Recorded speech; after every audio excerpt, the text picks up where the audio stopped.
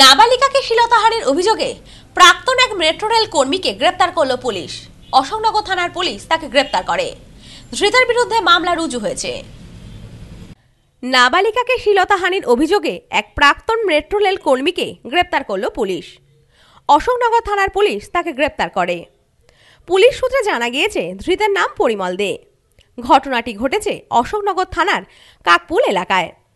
জানা গিয়েছে, চলতি মাসের ষোলো তারিখ এলাকায় এক নাবালিকা পিসির বাড়ি থেকে বিকেলবেলা বাড়ি ফিরছিল। অভিযোগ, সে সময় অভিযুক্ত ব্যক্তি তাকে ডেকে নিয়ে যায় একটি মন্দিরের পেছনে। সেখানে তাকে শ্লীলতাহানি করে বলে অভিযোগ। ঘটনার পর থেকেই নাবালিকা আতঙ্কের দিন কাটাচ্ছিল বলে পরিবারের অভিযোগ। শনিবার ঘটনার কথা মাকে জানায় সে।